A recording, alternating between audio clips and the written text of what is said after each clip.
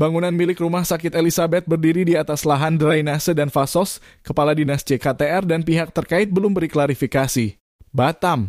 Wajah Batam News sebuah bangunan milik Rumah Sakit Elizabeth yang terletak di Blok 2, Kelurahan Lubuk Baja, Kota Batam. Dilaporkan berdiri di atas lahan yang seharusnya digunakan sebagai drainase dan fasilitas sosial atau fasos.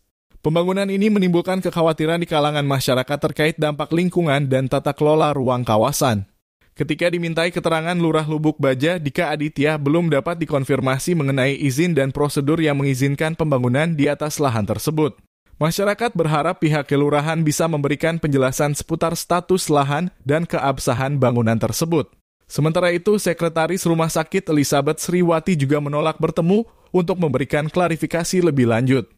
Sikap enggan bertemu ini memicu pertanyaan di kalangan warga yang khawatir pembangunan ini akan berdampak buruk pada sistem drainase di kawasan tersebut mengingat pentingnya lahan tersebut sebagai area resapan air.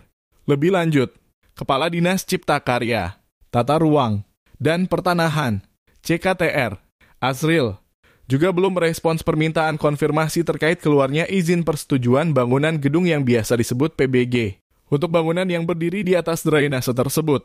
Keberadaan bangunan tanpa klarifikasi ini menimbulkan kekhawatiran akan pelanggaran tata ruang di kawasan itu.